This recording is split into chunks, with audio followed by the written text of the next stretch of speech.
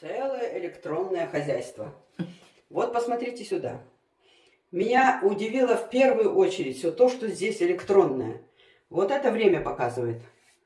Ну, если ты в туалете засиделся, то время напоминает, что пора уже. Теперь дальше посмотрите сюда. Вот обратите внимание на красный колокольчик. Вот этот красный колокольчик, это колокольчик тревоги.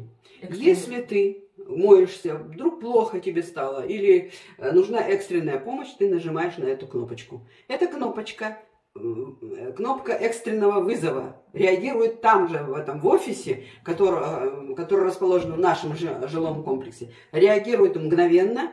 И, значит, вот здесь сразу выходит охрана и разговаривает с тобой что нужно, что случилось и так далее, и так далее, да.